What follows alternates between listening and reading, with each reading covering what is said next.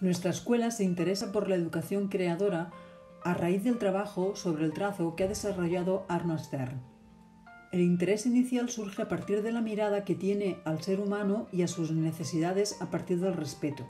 Respeto por el niño, por sus deseos, por sus emociones, por la necesidad de moverse, de comunicarse, relacionarse con los diferentes materiales, en definitiva, de jugar para crecer con autonomía y libertad. Es una mirada sin juicios con la voluntad de poder crear unas condiciones para dar respuesta a esas necesidades sin interferir en su desarrollo vital. Queremos niños y niñas con iniciativa, creativos, para tomar decisiones y para desarrollar sus propias ideas a partir de diferentes lenguajes expresivos. En este sentido, Canserra decide crear un espacio para que los niños y niñas se puedan expresar mediante la sinergia de un artista profesional que ofrece un espacio creativo de calidad. En este espacio hay un artista que realiza una residencia durante un curso en la escuela, en un espacio que denominamos espacio de expresión. La artista tiene su taller dentro de la escuela y comparte sus procesos de trabajo, dos veces a la semana, con los niños y niñas de 2 a 3 años.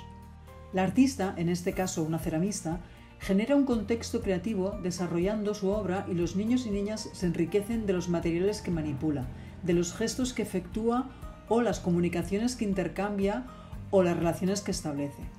En la configuración del espacio tenemos en cuenta una serie de condiciones. Espacio donde el niño se puede expresar libremente. Respeto por el espacio personal. El adulto asiste a las necesidades de los niños. El adulto no enseña nada, no actúa haciendo lo que el niño no puede hacer por sí solo, sino que lo acompaña para atender sus necesidades. Así el niño solo tiene que preocupar para expresarse. Espacio de no juicio.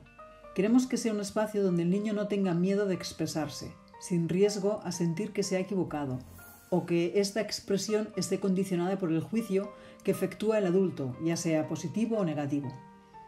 Estas condiciones se rigen a partir de la educación creadora, el desarrollo de la capacidad creadora se basa en la posibilidad de reencuentro con todo lo que se tiene de diferente, original y personal, sin inhibiciones y lejos de la exhibición.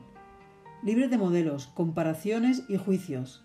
El miedo desaparece, los límites se rompen y se evoluciona más allá de lo que imaginamos ser capaces. Así se puede improvisar, investigar, crear y desarrollar la actividad más seria y rigurosa que existe, el juego.